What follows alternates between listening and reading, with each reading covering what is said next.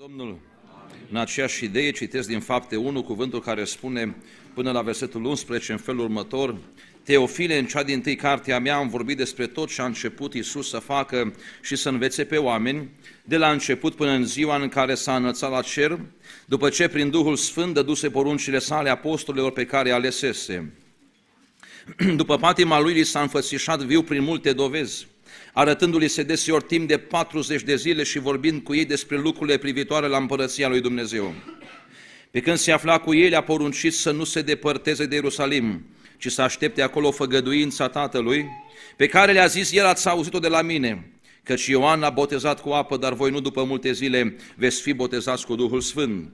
Deci apostolii, pe când erau strânși la oaltă, l-au întrebat, Doamne, în vremea aceasta ai de gând să așezi din nou împărăția lui Israel? El a răspuns, nu este treaba voastră să știți vremurile sau soroacele, pe acestea Tatăl le-a păstrat sub stăpânirea sa, ci voi veți primi o putere când se va coborâ Duhul Sfânt peste voi și veți fi martori în Ierusalim, în toată Iudeea, în Samaria și până la marginile pământului. După ce a spus aceste lucruri, pe când se uitau ei la el, s-a înălțat la cer și un nor l-a ascuns din ochii lor. Și cum stăteau ei cu ochii pironiți spre cer, pe când se suia el, iată că li s-au arătat doi bărbați îmbrăcați în alb și au zis, bărbați galilieni, de ce stați și vă uitați spre cer? Acest Iisus care s-a înălțat la cer din mijlocul vostru va veni în același fel cum l-ați văzut mergând la cer. Amin. Vă invit să vă reașezați.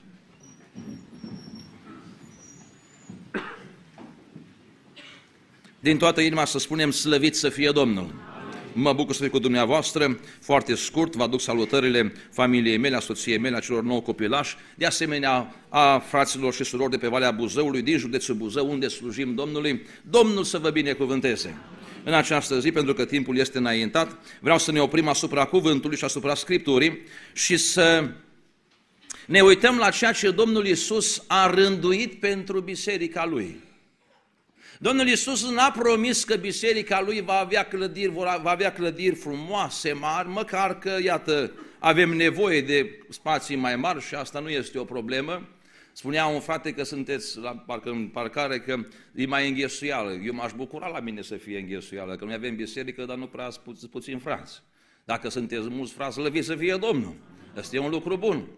Ă, dar Domnul n-a promis pentru biserica lui clădiri mari, pompoase, măcar că în ziua de astăzi și în cultul pentecostal se construiesc niște clădiri, undeva am spus într-o biserică, fraților, dacă ne dați măcar zeciuiala din ce băgați voi în clădirea asta, noi în Buzău facem vreo 10 biserici, bisericuțe. Dar numai zeciuiala, ce ați băgat voi mult peste, da. Dar Domnul nu asta a promis bisericii lui. N-a promis Dumnezeu, cum avem o cântare, El n-a promis doar cerul senin, nici flori pe cale, deși nouă cum ne place calea lui Hristos. Păi noi avem o cântare care spune în cer pe flori, dar dumneavoastră cum vreți să ajungeți în cer? Vă spun eu, pe flori vrem să ajungem în cer. Că numai ne înțapă cineva, ți-a pus un trandafir sub picioare și ăsta are și floare frumoasă, dar are și țepi. Și sare în sus și chem comitetul, fac scandal, gata să vină că e bai. În cer pe flori nu poți fi dus când alții s-au luptat.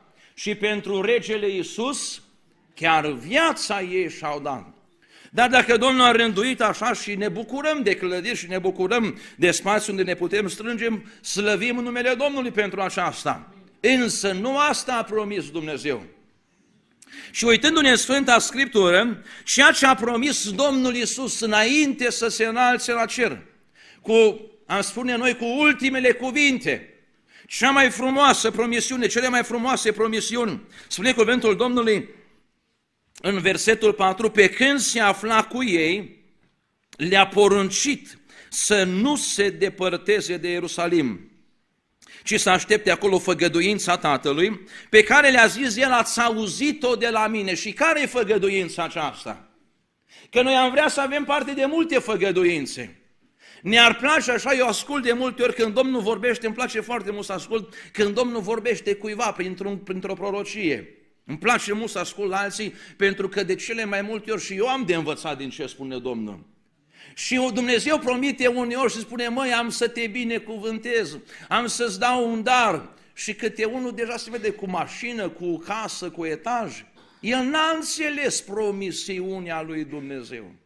Întrebam pe o tânără căreia Domnul i-a promis că vrea să-i dea un dar. Și după vreun an am întrebat, auzi, știi, mai știți ce ți-a spus Domnul? Da, mai știu. Ai, făcut, ai primit din partea Domnului darul? Încă nu. Dar ai făcut ceva în privința asta? Păi nu prea am făcut. Adică dacă Domnul se vorbește că vrea să-ți dea un dar, păi înseamnă că trebuie să te sfințești, trebuie să te pui deoparte pentru Domnul, să intri într-un timp de post, de rugăciune, ca Domnul, ca să pregătești calea Domnului, astfel încât Domnul să poată grăbi în împlinirea făgăduinței Lui. Doamne, ajută-ne la aceasta! Gânduri de pace am pentru voi, gânduri de pace și nu de război, deși Domnul anunță tot mai des în ultimele luni că vine războiul. Dar Domnul nu asta vrea pentru România. Chiar azi ascultam o lucrare care a fost în care Domnul spunea că dacă poporul lui Dumnezeu nu se va ruga și nu va posti și nu va intra la rugăciune, se va auzi până la marginile pământului despre România și nu în sens bun. Cum s-a auzit, amintiți-vă cum s-a auzit despre Ucraina, când au intrat și au făcut acolo ce au făcut rușii. La fel se poate auzi și despre România. Ce trebuie să facem? Să ne rugăm lui Dumnezeu, Doamne, dă-ne o inimă în felul acesta, Doamne ajută-ne. Iată, dragii mei, făgăduința Domnului Isus.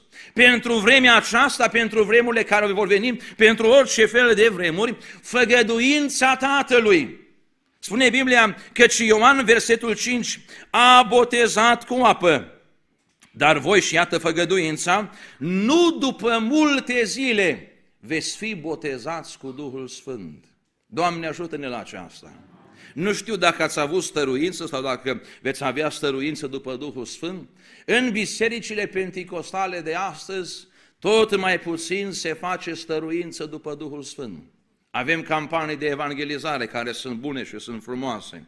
Avem uh, tot felul de, de zile speciale și uh, invitați și chemăm. Și nu îi spun eu că este rău, dar făgăduința Tatălui pentru biserica Lui nu că va ridica păstori cu renume, nici că va ridica proroși cu renume, nici că va ridica cântăreți cu renume, și făgăduința Tatălui pentru biserica Lui este că într-o zi va boteza cu Duhul Sfânt. Slăvit să fie Domnul! De aceea noi trebuie să ne întoarcem la această lucrare, să o dorim, să lucrăm, să pregătim terenul astfel încât Duhul Sfânt să poată veni. Trist este că în multe biserici astăzi nu se mai pune accent pe stăruința după Duhul Sfânt. Ba din nefericire chiar de pe băncile școlilor teologice, și o spun cu mare tristețe și mare durere, ă, ies tot felul de învățători care spun, auzi tu, când ai crezut în Domnul Isus și te-ai întors la Domnul, Domnul atunci ți-a dat și Duhul Sfânt, gata, te-a botezat, ești botezat, ești plin, nu mai ai nevoie de altceva. Oare așa spune Biblia? Și noi am ajuns să ne depărtăm tot mai mult de lucrarea aceasta a botezului și a plinătății Duhului Sfânt. La un moment dat, și îmi vine acum în minte, strigam omului Dumnezeu, prorocul Ieremia, în capitolul 2, în felul următor. Versetul 10, treceți în ostravele Chitim, priviți, Vedeți dacă s-a întâmplat acolo așa ceva, 11, și-a schimbat vreodată un popor Dumnezei, măcar că ei nu sunt Dumnezei, dar poporul meu și observați ce spune aici, versetul 11, poporul meu și-a schimbat slava cu sâmare. cine e slava lui Dumnezeu? Vă spun eu, Duhul Sfânt. Poporul meu și-a schimbat slava. Și striga Dumnezeu prin prorocul Ieremia cu, cu o inimă sfâșiată de durere, că poporul care spune, Doamne, Doamne, și-a schimbat slava. Și în loc să caute fața lui Dumnezeu, spune, și-a schimbat slava cu ceva care nu este de niciun ajutor. Mai departe spune versetul 13, că și poporul meu a săvârșit un îndoit păcat. Știți că există un păcat dublu? Păcatul îndoit, păcatul de două ori mai mare, nu doar că m-au părăsit pe mine izvorul apelor vii, și asta e mare păcat. Și Biserica Pentecostală de astăzi s-a cam îndepărtat de izvorul apelor vii. Dar nu ăsta e cel mai mare păcat, este un păcat mai mare. că dacă te-ai depărtat și începe să-ți fie sete și simți nevoia de apă, te întorci la izvor. Există șansă să te întorci la izvor, dar nu te întorci la izvor dacă se întâmplă și al doilea păcat. Și anume, și-au săpat puțuri, fântâni, puțuri crăpate care nu țin apă. Și atunci ai impresia că vii la biserică, ai fost la închinare, dar închinarea aceea n-a produs în viața ta ceea ce vrea să producă slava lui Dumnezeu. În momentul în care un popor stă față în față cu slava lui Dumnezeu, nu mai citesc Exodul capitolul 20, când Domnul dă legea de pe munte, capitolul 18, 19 și 20, acolo apare slava lui Dumnezeu, puterea lui Dumnezeu, muntele este în flăcări, trâmbița răsună, tunete fulgere, poporul Israel a rămas același? La un moment dat, plin de frică, au spus să nu mai ne vorbească Dumnezeu. Moise, vorbește-ne tu, că vom pieri altfel. Când stai față în față cu slava lui Dumnezeu, slava aceasta produce în tine schimbare și transformare. Spune cuvântul Domnului în 1 Corinteni, 2 Corinteni, capitolul 3, versetul 18. Noi toți privim cu fața descoperită ca într-o oglindă slava Domnului. Și când privești slava Domnului, ce se întâmplă? Pleci acasă cum ai venit. Pleci acasă liniștit, mă, a fost fain la biserică astăzi, slăvit să fie Domnul, sau zice, mă, n-a fost fain, prea tare a țipat, ce s-a agitat de acolo? Sau prea tare au s-au rugat? Când stai față în față cu slava lui Dumnezeu, se întâmplă acest lucru. Suntem schimbați. Nu vi se pare că tot mai neschimbați suntem în bisericile noastre? Dumneavoastră observați în jurul dumneavoastră biserici care se deschid, oameni care deschid tineri, care deschid biserici, tot felul de biserici. Vii la biserică, poți să vii cum vrei tu. Ba din potrivă, dacă vii fără batic, ești împins mai în față, că parcă asta e problema mare, mă, baticul ăla, cât să dispară cât mai repede. Și tot felul de biserici deschise, aleargă oamenii puhoi, aleargă tineri într-o veselie, și aici ne place. De ce? Că nu te schimbă nimeni. Ai venit, te-ai închinat, a fost o atmosferă de închinare, s-au stins luminile prin sală, niște reflectoare s-au aprins și pleci acasă, dar pleci acasă neschimbat. Asta e tragedia. Că dacă n-am avea biserică, dacă nu ne-am fi săpat puțuri care nu țin apă, ne-am, am avea șanse mai ușor să ne întoarcem la izvorul apelor vii. Dar tristețea și păcatul îndoit este că oamenii nu doar că l-au lăsat pe Dumnezeu deoparte, ei cântă despre Dumnezeu, ei se închină lui Dumnezeu, dar zice, m-au părăsit pe mine și au săpat puțuri. O formă de închinare. Știți că există o formă de închinare, că îmi spune 2 Timotei capitolul 3, dar care îi tăgăduiesc puterea, o formă de închinare, o formă de evlavie, dar tăgăduindu-i puterea, depărtează-te de astfel de oameni. Dragii mei, eu nu vă cunosc, în prima oară aici, cred că nu cunosc pe nimeni de aici, pot să predic liber. Dacă aveți ceva să vă supărați după predica mea, Duhul Sfânt mi-a dat cuvântul ăsta. Acum, dumneavoastră, cu cine vă certați, asta o vedeți dumneavoastră. Dar, dragii mei, aș vrea tare mult să ne întoarcem la izvorul apelor vii să astupăm puțurile noastre crăpate și să ne întoarcem la ceea ce spune Biblia. Pentru că singurul care poate face schimbare în viețile noastre este Duhul Sfânt al lui Dumnezeu. Singurul care poate transforma și schimba copiii noștri, care poate întoarce înapoi fiii rătăcitori care sunt pierduți pe cărări străine, este numai Duhul Sfânt al lui Dumnezeu. Singurul care poate aduce vindecare în, în poporul lui Dumnezeu, chiar vindecare în trupurile noastre, este Duhul Sfânt al lui Dumnezeu. Slăvit să-i fie numele! De aceea poporul lui Dumnezeu trebuie să se întoarcă la izvorul apelor vii. Și dacă nu ne vom întoarce, vom pieri de sete, bând din puțuri crăpate și mai grav, copiii noștri vor muri și ei de sete. Că unii dintre dumneavoastră aici mai în vârstă, unii dintre noi am mai văzut lucrările Domnului.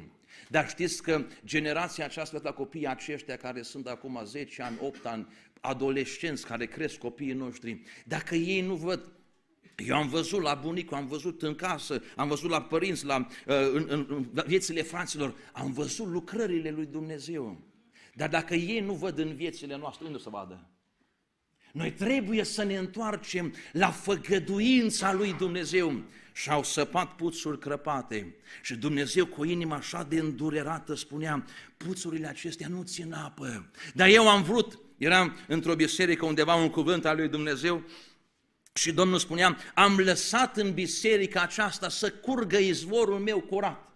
Dar mulți dintre frați și surori când au venit la biserică, deși izvorul curgea curat, nu s-au aplecat să bea. Ba mai mult, unii au venit cu pietre în buzunar. Au să vii la biserică cu pietre. Nu de astea, de ai pietre, ai judecată, ai nemulțumire, ai crătire, lasă-mă că știu eu toată ziua, asta ne vorbește. M-am săturat, vii cu pietre și spunea, au început să arunce în izvor. Să arunce în apă care curgea. Ne mirăm apoi că prorocul nu mai simte libertate să dea drumul la lucrare. Duhul Sfânt nu mai este liber. De multe ori avem, am fost în biserici unde tot programul e pus pe foaie. La secundă, dacă Duhul Sfânt vrea să spună o prorocie, trebuie să ceară voie păstorului, undeva să-l încadreze în, în alea două ore, că n-are cum altcumva. Oare nu ne-am depărătat noi? Nu ne-am schimbat noi slava lui Dumnezeu cu lucruri care nu-ți de niciun ajutor. Asta era durerea lui Dumnezeu. Și dragii mei, spunea 2 Corinteni 3 cu 18, când privim cu fața descoperită slava Domnului și suntem schimbați în același chip al Lui.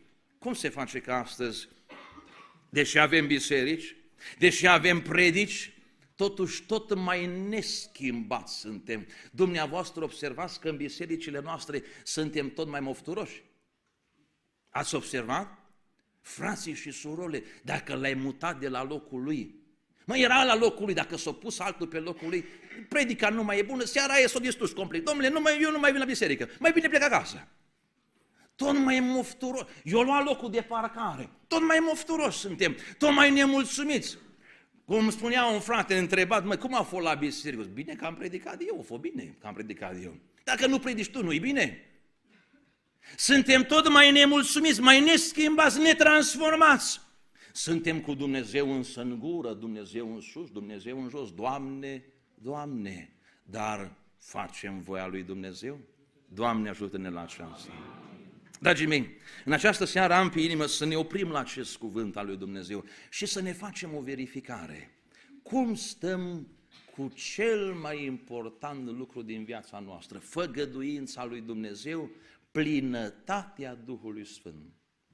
Face Domnul astăzi o cercetare, așa, o, niște raze bisericii din Ghiroda. Și pe mine nu trebuie să mă convingeți, că eu oricum plec înapoi și dumneavoastră rămâneți. Dar pe Domnul trebuie să-L convingeți. Este biserica din Ghiroda plină de Duhul Sfânt. Este biserica dumneavoastră acolo la izvorul apelor vii? Sau cumva ne-am săpat puțuri care nu țin apă? Sau cumva tot alergăm la alte izvoare, tot alergăm să bem prin alte părți? Și astăzi pe internet sunt atâtea izvoare otrăvite, atâtea izvoare otrăvite și frații noștri de dimineața până seara stau și ascultă, unii și în biserică stau pe internet. Și ascultăm și ascultăm la puțuri crăpate care nu țin apă. Dumneavoastră observați că au putut duce frații noștri pocăință. Am sărbătorit în 2022, am sărbătorit uh, 100 de ani de penticostalism în România, nu-i așa? Și foarte interesant, au reușit bătrânii noștri de acum 80, 90, 100 de ani, eu nu știu cum au reușit să ducă pocăința fără fratele YouTube. Cum au reușit? Cum au reușit să țină pocăința neascultând predici pe YouTube? Că noi astăzi, dacă nu ascultăm pe YouTube predici, nu suntem sănătoși. Îmi zice un frate, frate, și eu adorm, mă scol și adorm cu fratele cu dare. Și frate, plâng, plâng când ascult, când ascult așa plânge numai. Au venit niște frați să-l pună deoparte, că a făcut niște prostii, era seara la bătaie. Bă, dar toate predicile aia care le-ai ascultat, tot ce ai ascultat și ai plâns, Nu te-au schimbat. Nu că spuțuri crăpate, care nu țin apă. Izvorul apelor vii nu-i pe internet, e aici. Aici e izvorul apelor vii. Dar dumneavoastră observați că noi nu mai citim Biblia? Dumneavoastră observați, copiii noștri nu mai au, parcă nu mai au Biblie. Uneori nici nu mai venim cu Biblia la biserică. Dar telefonul e nelipsit. Păi cum să fim fără telefon? Cum spunea un frate, dacă merge un adolescent la toaletă și dacă face pe el și uită telefonul, fugi înapoi după el. Nu, nu merge fără telefon. Dar cu Biblia cum suntem? Noi nu mai citim Biblia, frații mei. Întrebam pe cineva, mă rog, am mărturisit de ce am mărturisit și spune, auzi, dar tu citești din Biblie? Întrebam pe un tânăr, tu ai timp de părtășie cu Domnul? Da. Păi și ce faci în timpul tău de părtășie cu Domnul? Ascult pe fratele X. Ce ascult? Biblia nu citești. Frate, dar nu prea am timp. Dar ascult. Păi și cu ce te ajută? Frații mei, noi trebuie să închidem YouTube-ul acesta și predicile pe internet, să ne întoarcem la predica Duhului Sfânt la lucrarea Duhului Sfânt. Uitați-vă aici în Scripturi. 2000 de ani a mers biserica fără internet. Eu lucrez pe internet, eu lucrez în IT. Eu știu ce înseamnă internetul. Dar parcă nu mai putem fără internet, fără predici pe internet. Să apărem și noi acolo pe sticlă. Îmi spune, la un moment dat spune fratele Ioan Botezătorul, când l-au întrebat, auzi, cine ești tu? Păi, dacă mă întreba pe mine, păi știam ce să spun cine sunt. Păi, spune că un frate, eu sunt doctor reverend cu tare. Auzi, ce Ioan, îl întreabă, auzi, ești Hristosul? Nu. Ești Elie? Nu. Eu vă întreb, era Elie? Era venit în Duhul și puterea lui Elie.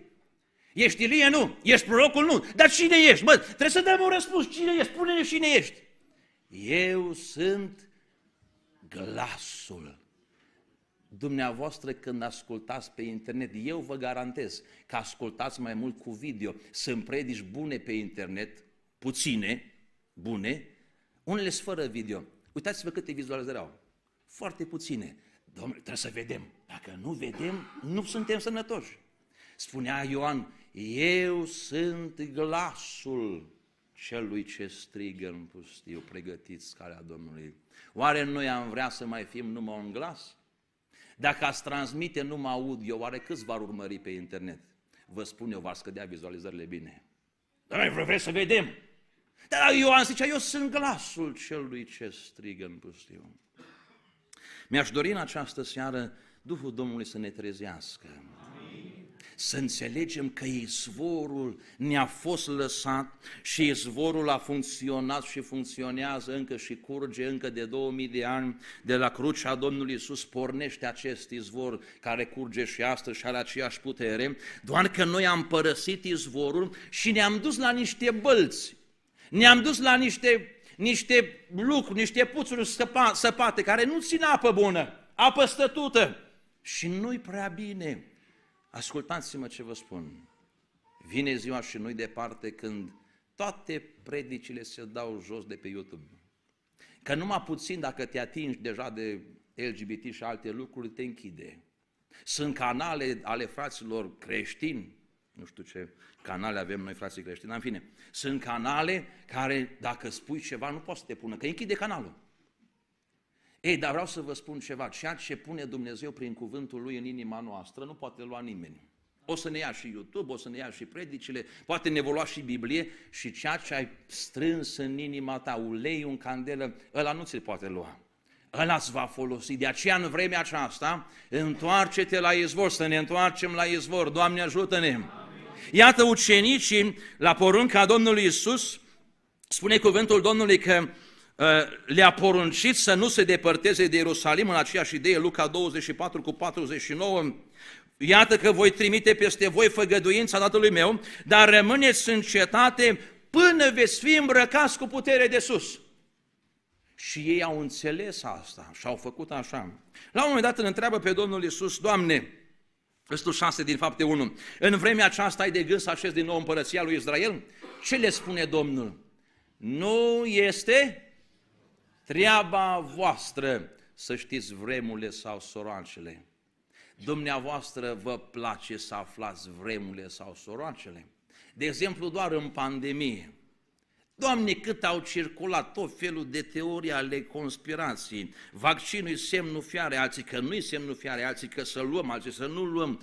Tot felul de teorii, tot felul de lucruri, tot felul de prorocii, circulă pro... o vestere. Ați observat acum la ultimele veștile ce au circulat. Mă, n-a trecut câte, ce oră, mă, ce oră, 10 minute s-au ajuns la marginea globului. Roata s-a dus tot. Ce s-a întâmplat, cum a, a murit, imediat se aude că suntem tare interesați de astea. Și diavolul știe că dacă ne dă să mâncăm de acestea, nu mai avem timp de scriptură. Păi cum să mai ai timp de scriptură? Că toată ziua butonez. Am văzut surori în vârstă, abia se uită, dar dau și ele acolo la shorturi pe internet. Dă să uite și ea. Dragii mei, noi trebuie să ne întoarcem la izvorul apelor vii. Poate că zâmbim, ar trebui să plângem. Că asta e starea bisericii de astăzi și suntem tot mai lipsiți de putere. Cum spunea cineva, frate, o mie de predici am ascultat și o întreb, ți-a ajutat la ceva? Că la ceea ce am mărturisit nu i-a ajutat la nimic. Da, avem la catastif o mie de predici ascultate. Dumneavoastră înțelegeți că nu așa a fost programat, nu așa a fost gândit de Dumnezeu biserica lui să funcționeze. Nu așa. Predica este importantă, cum eu sunt predicator și ar fi culmea să-mi denigrez slujba mea. Dar nu predica mântuiește. Nu predica este totul, predica are doar scopul să ne aducă la picioarele crucii lui Hristos. De acolo rămâne omul cu Hristos. Nu omul cu fratele X pe YouTube în fiecare zi, nu așa. Omul cu Hristos în părtășie. Când închide totul în jurul lui, când ia Biblia și intră în părtășie cu Hristos și se zidește pe sine însuși și stă în rugăciune și Domnul începe să-i descopere. Spune cuvântul Domnului în Ioan în capitolul 14, Versetul 26, dar mângâietorul, adică Duhul Sfânt, pe care îl va trimite Tatăl în numele meu, vă va învăța. Măi, cum se face că avem tot mai mulți frați neînvățați, surori, tineri neînvățați? Mă, dar nu știi, nu știi că n-ai voie să vii cu gumă de mestecat? Frate, nu știu. Dar nu știi că trebuie să fie rochia mai lungă? Frate, nu știu. Dar nu v-au învățat. Întreba, mă, dar nu v-au spus acolo? Măi, nu ne-au spus. Dar întreb pe cineva, dar Duhul Sfânt ți-a spus? A, dar noi nu avem timp să ascultăm pe Duhul Sfânt, că noi suntem prinși toată ziua să ascultăm pe internet. Dragii mei, Domnul ne cheamă să ne întoarcem, să ascultăm glasul Duhului Sfânt. El vă va învăța și vă va aduce aminte de tot ce v-am spus eu, 16 cu 13, când va veni mângâietorul Duhul adevărului, are să vă călăuzească în tot adevărul, căci el nu va vorbi de la el, ci va vorbi tot ce va fi auzit și vă va descoperi lucrurile viitoare. Iată ce important este Duhul Sfânt. Iată ce importantă e lucrarea Duhului Sfânt. De aceea, când Domnul Isus a gândit biserica lui, imaginați-vă 12 apostoli, 11 apoi intră și celălalt, al 12-lea, că Iuda s-a sinucis. Dar imaginați-vă că Domnul Isus se înalță la cer și lasă toată lucrarea de evangelizare pentru 2000 de ani înainte pe umerii a 12 oameni fără teologie, neînvățați, nu cu studii în prea multe, unii luați de pe la vam, alții de pe la pește, altul era cu Simon Zilotul cu cuțitul, luați și strângi de acolo și lasă toată povara Evangheliei pe umerii lor. Dar nu a fost pe umerii lor, ci le-a spus, auzi, voi rămâneți, dar nu plecați din Ierusalim până când? Până când vine Duhul Sfânt. Că cel care conduce biserica și lucrarea de evangelizare nu-i păstorul, nu-i comitetul, nu sunt uh, eu știu, la foruri mai, mai mari, Consiliul Bisericesc, ci trebuie să fie Duhul Sfânt, slăvit să-i fie numele. De aceea Domnul Iisus le poruncește ucenicilor aici în fapte 1, nu plecați până când vine Duhul Sfânt. Și eu vreau să vă întreb pe dumneavoastră, ei au stăruit 10 zile după Duhul Sfânt, până când a venit Duhul Sfânt. În cele 10 zile nu erau oameni care trebuiau vindecați în Ierusalim? Nu erau oameni care trebuiau scoși din păcat, nu trebuia vestită Evanghelia? Păi după mintea noastră erau, dar nu și după mintea lui Hristos. Iisus a zis, nu plecați. Știți ce înțeleg eu de aici? Domnul nu are nevoie de noi să-i facem lucrarea Lui după ideile noastre.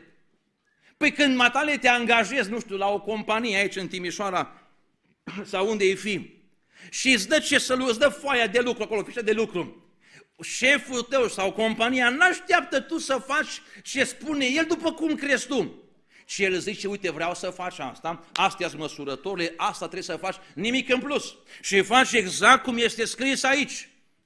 Dar noi am ajuns chiar păstorii, chiar slujitorii, să facem lucrarea Domnului după mintea noastră. N-are nevoie Domnul de asta.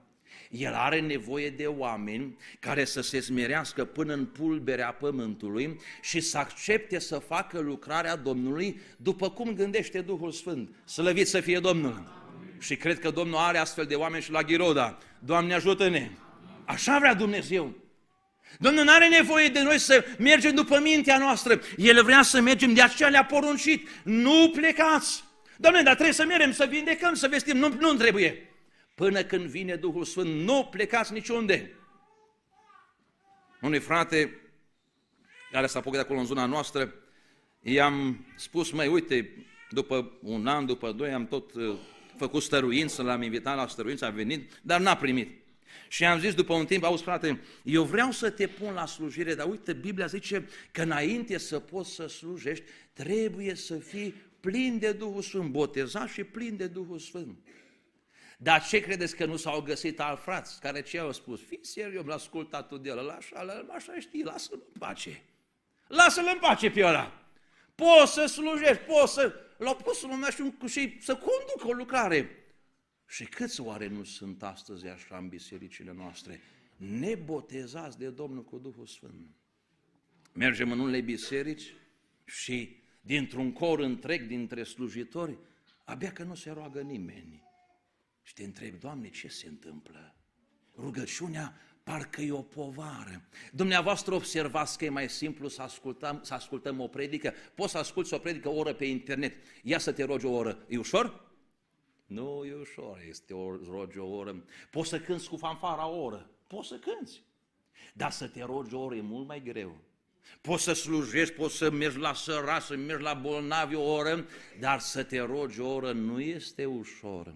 Și totuși nu aici era secretul Domnului Isus?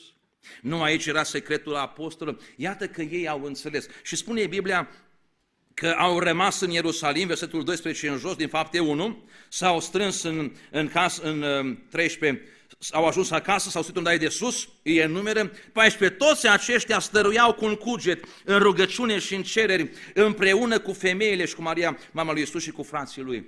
Până în ziua când în fapte 2 deodată, pe când erau strânși în ziua cinzecimii, deodată a venit din cer și s-a coborât Duhul Sfânt peste ei. Doamne, mai coboară-te și la Ghiroda. Dragii mei, ucenicii au înțeles ceea ce Domnul le-a spus. Duhul Sfânt este obligatoriu. Cum se face că noi astăzi putem să ne descurcăm fără Duhul Sfânt? Spunea Toțer, dacă Duhul Sfânt ar fi luat din unele din biserică, cele mai multe biserici și-ar continua programul fără să vadă vreo deosebire, vreo diferență. Știți de ce? Că de ani de zile unii merg fără Duhul Sfânt.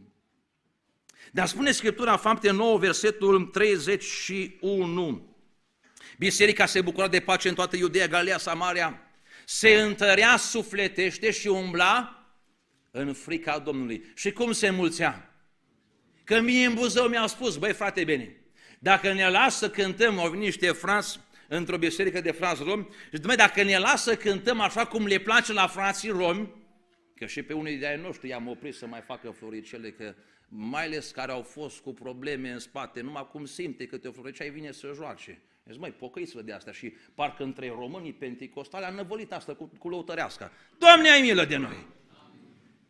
Și mă, dacă ne lasă cântăm cum le place lor, păi să umplem biserica. Mă, dar eu n-am nevoie să o umpleți voi. Toți se pocăiesc, zice. Eu n-am nevoie să-i pocăiți voi. Că dacă nu-i pocăiește Duhul Sfânt, îmi face sperial, că deja am început să am perialbi. Că după aceea, după aceea numai trebuie să îi pui deoparte, să mergi la ei ăștia, să certăresc. Că dacă nu schimbați de Duhul Sfânt, pe cum să fie? Îți putem să-i botezăm. A intrat în apă uscat, iese ud. Atât. Dacă nu-i schimbat, dacă el n-a stat față în față cu slava lui Dumnezeu, dacă n-a căzut în pulberea pământului într-o zi, să fie schimbat de puterea lui Dumnezeu. Da, el este botezat, da, el este membru, el intră la cină, dar este neschimbat de puterea lui Dumnezeu.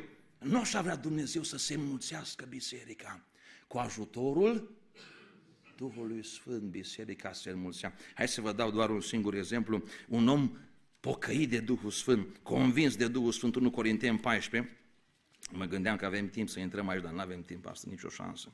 1 Corinteni 14, 20 și 3. Dacă s-a luat toată biserica la un loc, toți ar vorbi în alte limbi și măi, n-ar zice că, este, că sunteți nebuni. Dacă toți prorocesc, 24, și intră vreun necredincios sau vreunul fără daruri, el este încredințat de toți, este judecat de toți. Mai departe, tainele inimii lui sunt descoperite și ce va face? Dumneavoastră observați că la evangelizările noastre nu mai ne rugăm în comun? Mă, dar e deranjant pentru prieteni. Mă, dar cum să strigăm? Oricum nu mai prea strigăm noi așa la rugăciune, că ne-am lăsat de mult de, de a striga. Strigă către Domnul, spune o cântare. Unii n-au înțeles. Către Domnul nu strigă la ajutor, strigă către Domnul bărbatul ei, cum spunea despre Sara, nu că Avram era Domnul ei. Acolo strigă. Dar către Domnul nu strigă. Păi, dragii mei, uitați-vă, și va cădea cu fața la pământ, se va închina lui Dumnezeu și va mărturisi ce? Mă, ce fain o fost la biserică. Măi, cum au cântat corul acela, fanfara aia voastră, extraordinar cum au cântat. Într-o zi a fost o femeie la noi la biserică și când a plecat am întrebat-o cum i s-a părut. Și a zis, domnule, mi-a plăcut. Mi-a plăcut, am, am să mai vin. Am plecat și am plâns. Am zis, dacă atât a rămas după o slujire, e vai de mine. Iată, va cădea cu fața la pământ și va mărturisi că Dumnezeu este în mijlocul vostru. Cine l-a convins?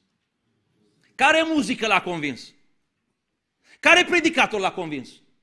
Duhul Sfânt l-a convins. Ei, un om din acesta, ăsta rămâne în biserică.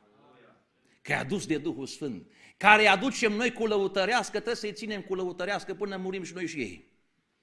Că altfel pleacă din biserică.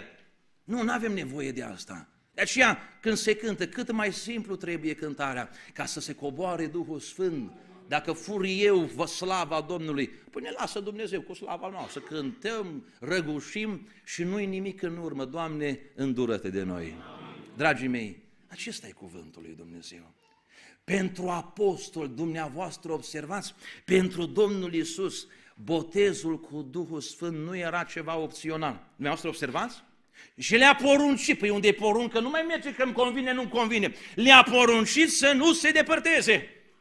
Dar dumneavoastră observați că pentru noi stăruința e opțională? Noi am făcut stăruință într-un an, într-o biserică și am anunțat pe toți frații din biserică unde slujim, ne-am strâns la un loc și cred că vreo o lună, o lună jumate am anunțat dinainte, măi, atunci va avem stăruință, pregătiți-vă, oricum cu un timp înainte, nu mai rețineți, exact?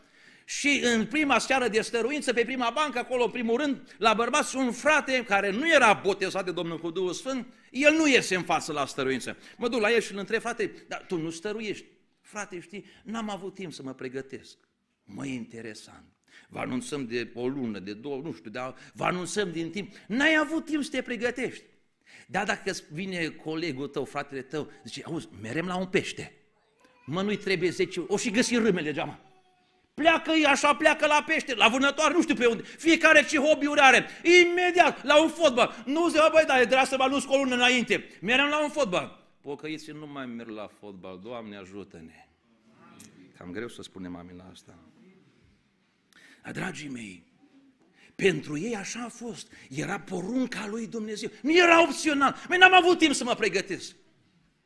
Am fost într-o biserică, că spuneam despre predici și predicatori biserică, zic eu, la 200-300 de membri și fratele de acolo îmi zice, frate, am făcut stăruință. Și atunci când uh, am anunțat frații să vină la stăruință într-o seară, dintr-o biserică de 200-300 de membri și am fost eu cu încă doi frați la stăruință. Și eu le-am spus la frați că știam cum a fost. Zic, așa e că atunci când a venit fratele Cristi, n-ați încăput în biserică, așa e frate. Păi se rup balcoane, aducem ca scaune de la vecini, aducem bănci, nu mai încap în biserică. Și la stăruință n-ai cu cine să te rogi. Și eu vă întreb, am înțeles pocăința? Nu, n-am înțeles-o. Ne-a sucit diavolul privirile. Păi, dragii mei, ceea ce dă putere nu-i predica. Predica are menirea doar să ne atragă la Hristos. Puterea o dă Hristos prin Duhul Sfânt, fapte 1 cop și voi veți primi o... Când? Mai când va veni, păi cum se explică altfel că frații noștri care n-au avut predicatori de renume au dus pocăința 100 de ani în România? Și noi cu cei mai mari nume de predicatori, nu știu dacă o mai ducem 20 de ani, ce 100 de ani. Că noi și-am sărbătorit în 2022, nu ne-am sărbătorit, noi am sărbătorit ce au făcut frații noștri, acum 50, 60, 80 de ani. Dar peste 100 de ani, strănepoții noștri vor avea ce să sărbătorească ce am făcut noi. Dom'le, am ascultat predici pe internet, asta am fost full. Haideți să ne întoarcem la izvorul apelor vii. Așa spunea Domnul Isus. Le-a poruncit și apostolii au înțeles. Pentru dumneata, frate, soră, tânăr, când se vine în fanfară, slavă Domnului, ești plin de Duhul Sfânt. Au apărut astăzi bisericile, eram într-o biserică și după ce uh, au cântat o trupă de asta de închinare, mă rog, nu mai zic nimic, o trupă de închinare, uh, ne-au chemat la rugăciune. Eu am fost bucuros. Nu prea am fost bucuros de cum dar am fost bucuros să la rugăciune. Da, toată biserica în picioare la rugăciune. Și când noi ne punem la rugăciune, ei ne-au chemat la rugăciune, mă, ei nu se roagă. Ma, eu pot să tac, dar și eu am o limită. N-am putut să mai tac, le-am zis la predică. Ce mă, voi ne-ați chemat la rugăciune și voi nu v-ați rugat. Unul cânta la chitară, unul cânta la nu știu ce. Păi dacă ne-ați chemat la rugăciune, păi rugați-vă cu noi. Da, dar nu mai ne trebuie rugăciune. Observați că în bisericile acestea care îi plin pe internet, rugăciunea este un minut, două, și în timpul rugăciunii, încă merge chitara, merge nu știu ce, orga, ă, că nu avem nevoie de rugăciune, cât mai repede să vină următoarea cântare și se cântă 45 de minute și rugăciune două sau trei minute, care numai rugăciune nu este. N-am schimbat noi izvorul apelor vii? Cum era la frații noștri? Dar hai să nu zicem doar la frații. Cum era în Scriptură? Și ei stăruiau în învățătura apostolului la frățească, frângerea pâine și în... Noi cum am ajuns să stăruim în cântare? Observați? Am ajuns să stăruim în cântare. Rugăciunea așa a ajuns cenușăreasa bisericii, pe aici pe acolo care se mai roagă. Apostolii nu așa au fost. Și Domnul nu așa a gândit biserica lui. Și când a spus cum va trebui să funcționeze biserica lui, a spus, voi nu vă depărtați până vine Duhul Sfânt și veți primi o putere. Și apostolii au înțeles lucrul acesta. Dragii mei, ați vrea în seara aceasta să ne întoarcem către Dumnezeu? Să spunem, Doamne, avem nevoie de Tine. Mi-ajunge cât am ascultat, nu mai vreau să ascult, vreau să, să citesc Biblia, vreau ca Tu să-mi vorbești, vreau ca Tu să-mi descoperi. Și eu am mai ascultat predici și eu oricum auzim predici la biserică și eu vă spun că Domnul vă da ești prin frații e suficient. Că oricum, la cât de multe predici ascultăm noi, ăștia de top, Când vine câte un frate mai slăbuț aici din biserică și urcă la amvon, unii deja cască. Ce știu ce predică fratele. Știți că spunea cuvântul Domnului în 2 Timotei, în capitolul 3, în capitolul 4, versetul 3, va veni vremea când oamenii nu vor putea să sufere învățătura sănătoasă, își vor gândi la urechile să-și își vor da învățător după poftele lor. Hai să vă întreb ceva. Când scrieți pe YouTube, pe cine scrie să ascultați? Unul care vă place sau unul care nu vă place? Vă spun eu. Unul care vă place își vor da învățători după poftim. Nu-l ascult pe ăla, numai nu ne mustră, mă, numai atâta știe să taie în noi. Și nu ne place. Și când vine, la, când Domnul trimite un predicator care taie mai tare, și mă, ce, ce, ce-a pățit fratele ăla? Ce s-a întâmplat cu el? Așa ne umflăm, așa. Dragii mei, mai de mult asta era normalul. Dar noi am ajuns să ascultăm doar ce ne gândi la urechile. Eu nu spun să nu ascultăm o predică bună și sunt câteva bune, dar atenție că sunt multe lucruri otrăvite, foarte multe lucruri otrăvite. Nu de mult cineva a fost, mă dați pe internet, iar o să am probleme, nu mai zic. Și am făcut unul cu... Gata. Dragii mei, dacă ne vom întoarce la Duhul Sfânt, vom fi binecuvântați. Când slava Domnului se va arăta în bisericile noastre, nu-i nevoie de multă predică, nu-i nevoie de multă cântare, dar va porni un foc în biserică și biserica va începe într-o rugăciune. Eu am văzut tineri schimbați la stăruință. Eu am văzut la noi la, la Sapocait o femeie a venit la biserică la o seară de stăruință, din câte știu eu, prima oară când a venit la biserică la o seară de stăruință. Noi așa ne luptăm să nu vină nepocăiți la stăruință, ba să vină că dacă e de la Domnul, Domnul pocăiește, Domnul schimbă acolo pe loc, ăla nu mai pleacă din biserică. O soră a venit la stăruință, dintr-o dată a ridicat mâinile sus, a căzut, nu era pocăită, a căzut în genunchi, pe loc Domnul a iertat-o, a botezat-o cu Duhul Sfânt, a și dar. Și astăzi are dar din partea lui Dumnezeu. Da? Cine face asta?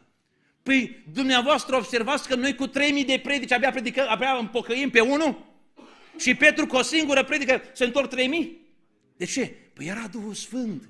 Nu Petru convingea oamenii, și era Duhul Sfânt care convingea. Și noi de multe ori nu mai putem.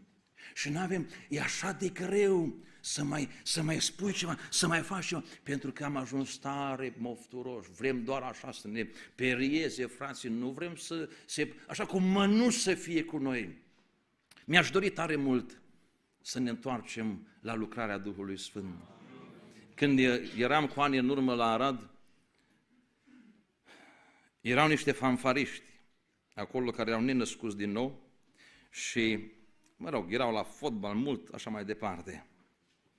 Dar sau au stat frații de vorbă cu ei, Doamne, cât au stat de vorbă, i-au pus deoparte, dar n-ai avut pe cine, că ăștia când au prins fotbalul, springi de fotbal, n-ai ce să faci.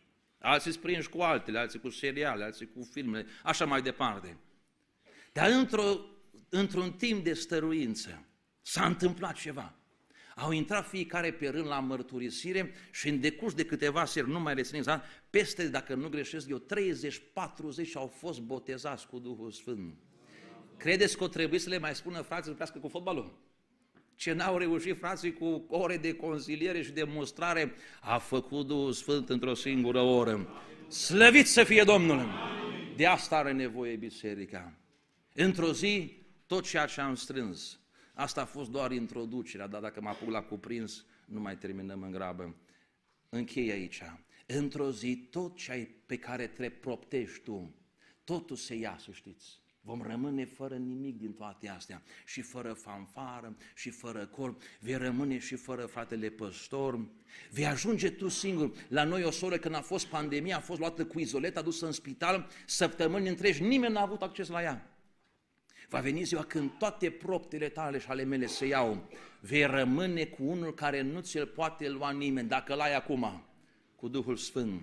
Ei, în momentele acelea, Duhul Sfânt îți va aduce aminte tot ceea ce a spus Domnul Isus te va ajuta, te va călăuzi, te va întări.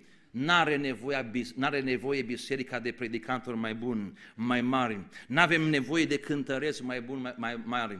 Nu trebuie să, să fim la un oarecare nivel, nu. Trebuie să-i cântăm Domnului din inimă, dintr-o inimă neprihănită și Domnului mulțumit, slăvit să fie Domnul. Dar are nevoie, nevoie biserica astăzi de oameni rugăciunii. Când vei strânge la rugăciune, veți fi tot așa de mulți, bineînțeles că frații vor pleca, dar dumneavoastră de aici, veniți la stăruință. Așa, aveți inimă pentru stăruință, eu nu știu, dar Domnul vine aici să boteze, Domnul vine să umple, să dea daruri, Oare tinerii din fanfară, frații aceștia, acești tineri minunați, oare sunteți la stăruință pe lângă a, a, trompetă ce cântați voi să dea Domnul și un dar de prorocie? Păi asta este important. Doamne, îndură-te de noi. Doamne, lucrează și Domnul să reverse peste biserica Lui Duhul Sfânt. Amin.